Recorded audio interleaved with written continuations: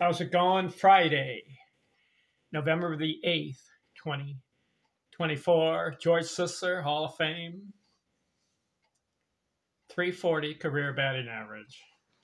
He's come off some really excellent years up to this point. Started his career in 1915, had a couple, had, had a 285 his first year. Then he, then he started hitting over 300 so he's got one, two, three, four, five, six, seven, eight seasons in a row over 300, and two of the seasons over 400. At a remarkable stretch from 1920 to 1922. In those three years, he had 719 hits, an average 400. He had a 407, a 371, and a 420 in those three years.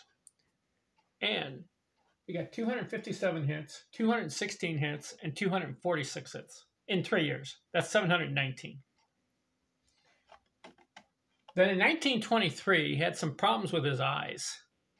I think he had some surgery done on his eyes, could not play the entire year. He missed it.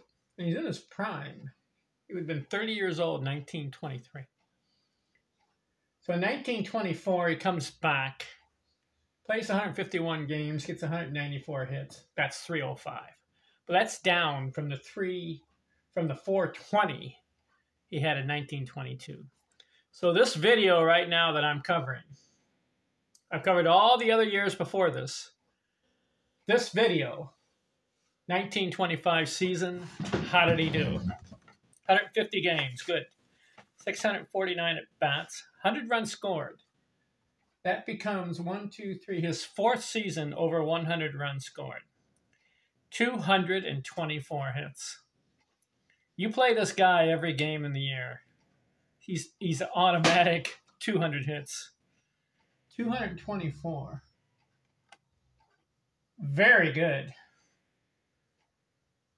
In fact, he's one of the few players that have multiple 220 plus seasons. Of course, he's one player that has 250 or more. He's one out of two. No, no, there's about three or four guys who have got 250 or more. How about this? He's he's one out of two players that has more than 255 hits in a season. He has a 257. Ichiro Suzuki has a 262. There are other guys who have had in 250. Hornsby had 250. Al Simmons, Bill Terry all passed 250 hits in a season. So, as far as 220 or more, how many players have multiple 220 or more? Well, this is the third time for George Sisler. He had a two 46 also. 257, 246, and now he gets 224. This is interesting. That's a trivia question. Who has more than three 220 plus hits in a season? Who do you think it is? Well, I can think of guys who have had multiple 200 hit seasons. How about Tyrus Cobb? Does he have more than 220? Does he have more than three? Let's look it up. Ty Cobb.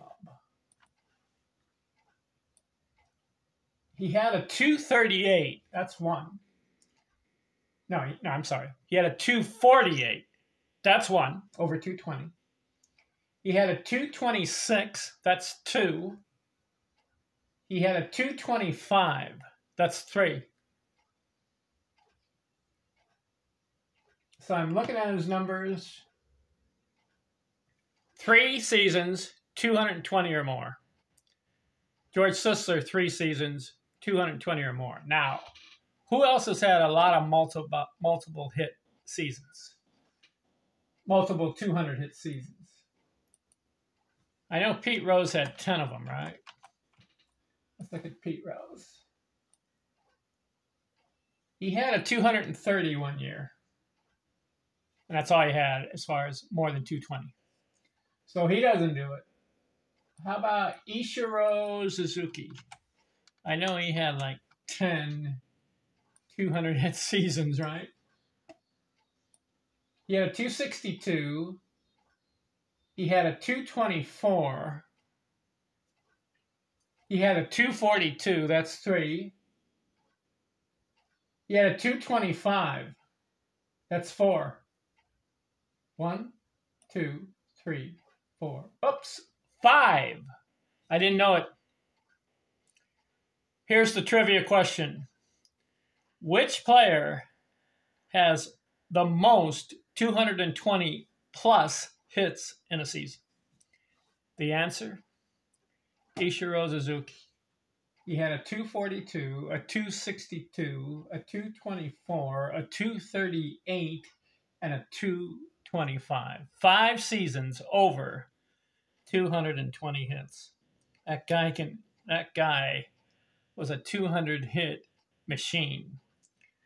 Is there anybody else who would have more than five? I doubt it. I know Derek Jeter had some 200 hit seasons.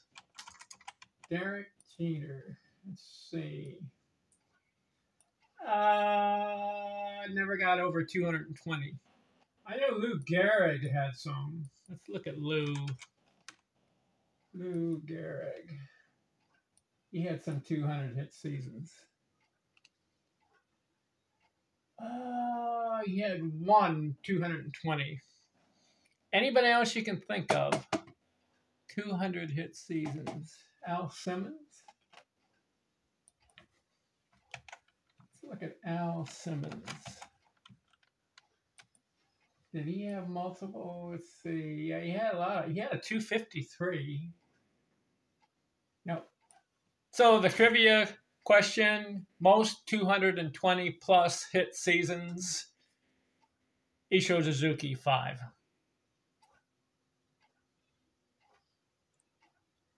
uh, George Sisler, three, and Ty Cobb, three, right? Pete Rose didn't do it. Jeter didn't do it, even though they had multiple 200 hit seasons. Don't know who else had a lot of 200 hit seasons. Cobb, right? Yeah, 225, 226, and 248. He had three. So that's an interesting, don't you think that's interesting trivia there? Okay, let's go back to the 1925 season for George Sisler.